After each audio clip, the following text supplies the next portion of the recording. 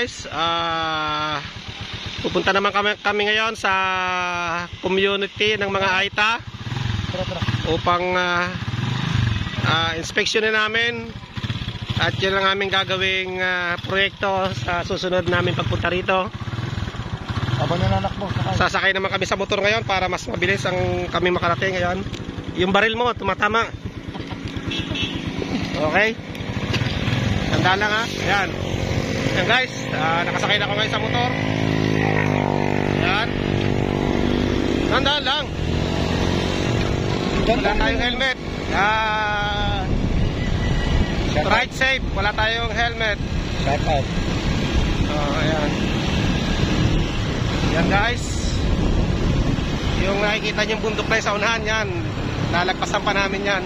Pero nakamotor kami ngayon. Ayan. Ayan guys. Selfie mo naman. Motor naman ang gagamitin natin ngayon. Gamit natin. Para hindi tayo... Selfie mo. Ito pa yung kasama natin. Kasama ba natin to? Ah. Yan, yun. Dalawa. Kasama namin yan guys. Yan.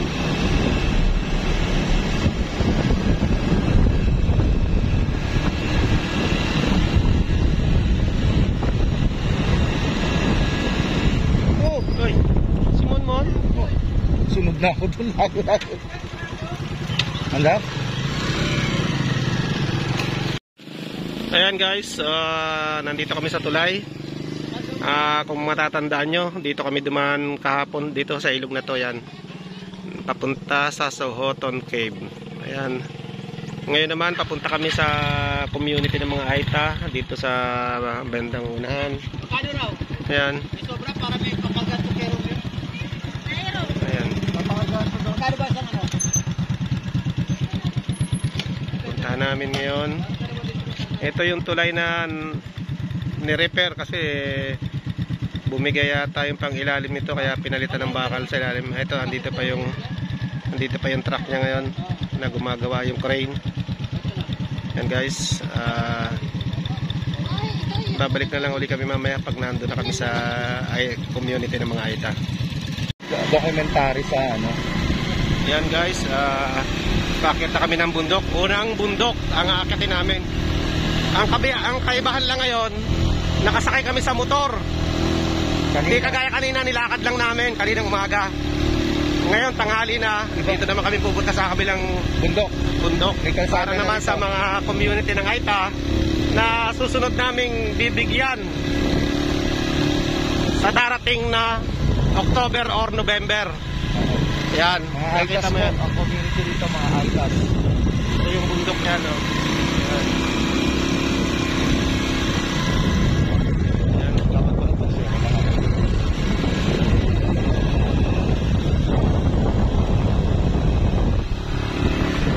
Sir, po sir. Sir, kung ano mo ko lang hindi mo pang vlog, yung akin lang. Pasa, tap. Oh, tanggalan natin yung cellphone ko. Ha? Ito. Sir, ah, baka na. Gagawan lang naman nila ng ano yan para maibenta na eh. Ayan. Ah, is, is Asgard. Ano kayang ibig sabihin ng Asgard na yun? Igo, igo. Balantak falls, oh. Ayan na. Tutok mo doon sa may Balantak Falls. Oh! Guys, andito kami sa may Balantak Falls. Welcome to Balantak Falls. Basay. Basay, Samar. Yan.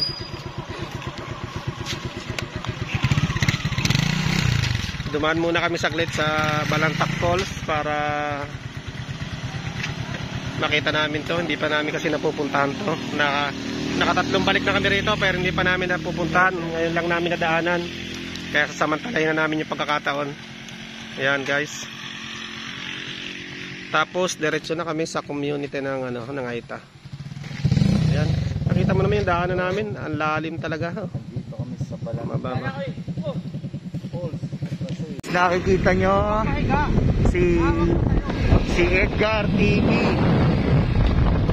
YouTube channel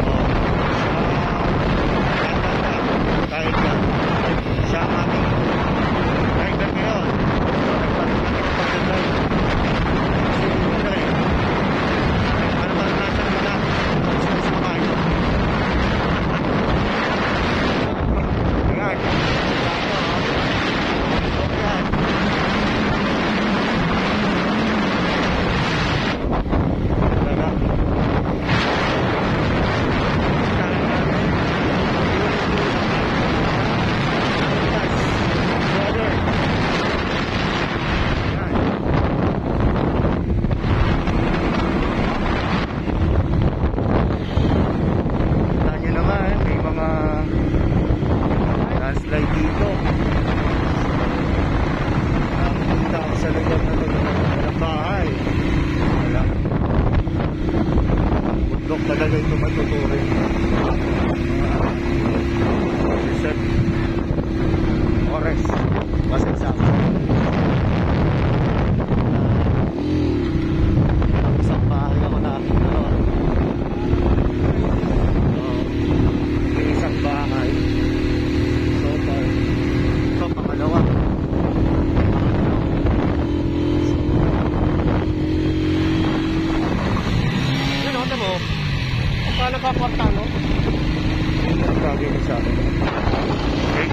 Putulin ko muna ang video. Yan guys, good morning. Ah, andito na kami sa community ng mga Aita dito sa kilometro 7. Yan, napakalayo din pala nito. Nasa pinakaibabaw to ng bundok, yan. At dito sila nakatira sa ibabaw ng bundok. Pero yung kalsada nila sementado. Ito raw kalsada na to, dire pag diniretso mo, labas nito ay highway papuntang Burungan. Burungan Samar. Yan. Yan guys. Dito punta tayo dito sa may likod ng bahay nila. Andito yung mga halaman yan. Dito sila nagtatanim ng mga kinabubuhay nila yan mga gulay yan medyo malawak yung taniman nila ng gulay ito yan. Ay, ano to? Kasama ba nila to? O ano? Ay, hindi. Kasama ko pala to. Kala ko isa sa mga Aita. Hindi pala. Kasama ko pala yan, guys. Sama mo ko, Chong. Nakalimutan mo na. Ayan. Ako pa ka nag-drive sa'yo eh. Ayan. Pasensya na. Kala ko naka saradong sarado ang ano, mukha mo, Brad eh. Ayan. Ito.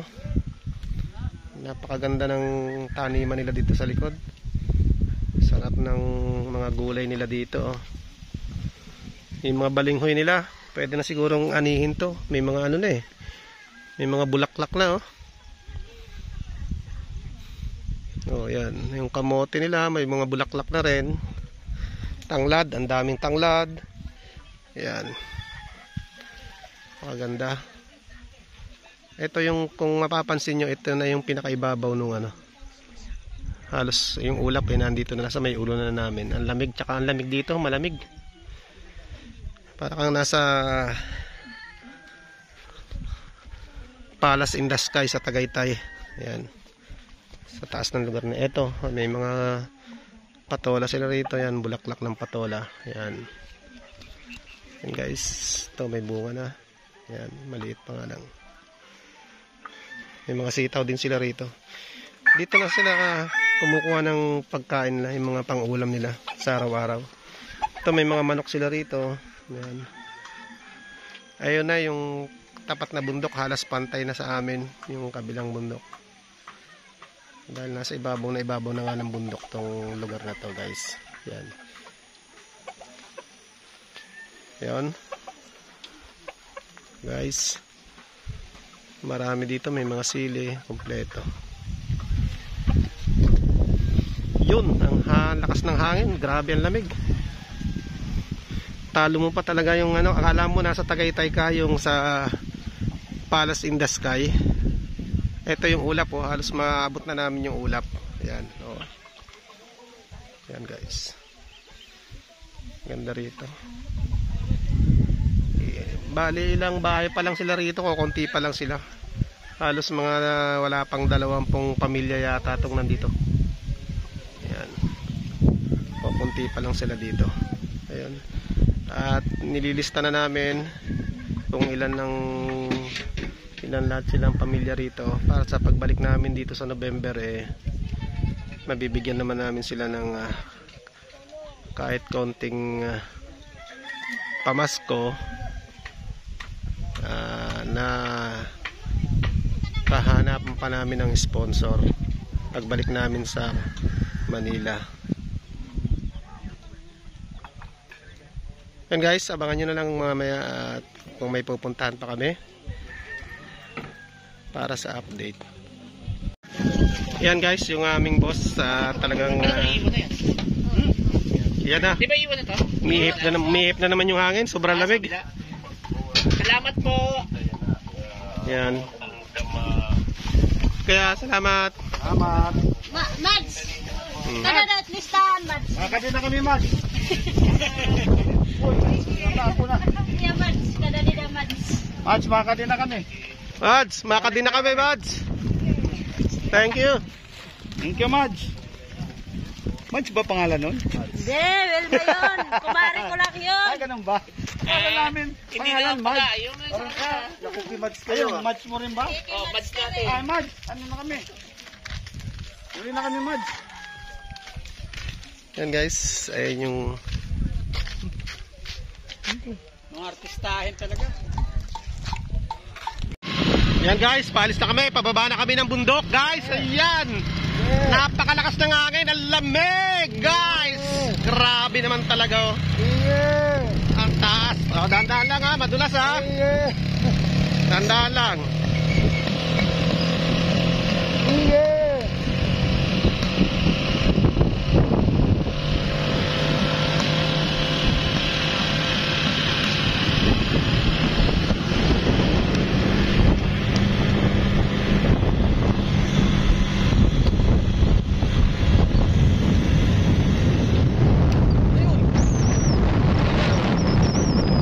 Talagang hindi na matutusok sa kwento, wala nang matusok sa Ah, tsaka mas tayo.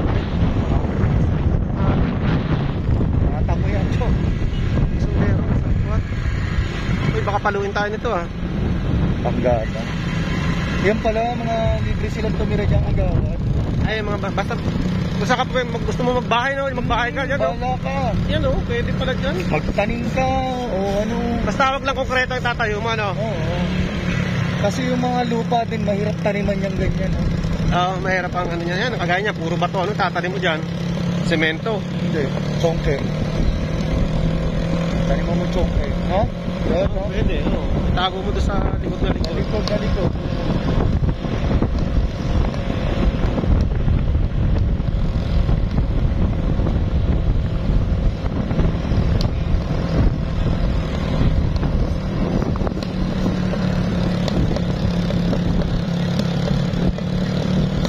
Grocery rin pala ito kaya, no? Ha? Grocery rin to Oo. Parang yung ano yung ibang style lang. Yung scooter. Ito ano talaga to eh. Yung may, clutch to. Ano mas matibay to? Oo naman, backside cut to eh. Matibay to. Asan ito? Tabi ka rin pag ganun. Puro pang paano lang to. Kanina kapos tayo. Ito naman guys.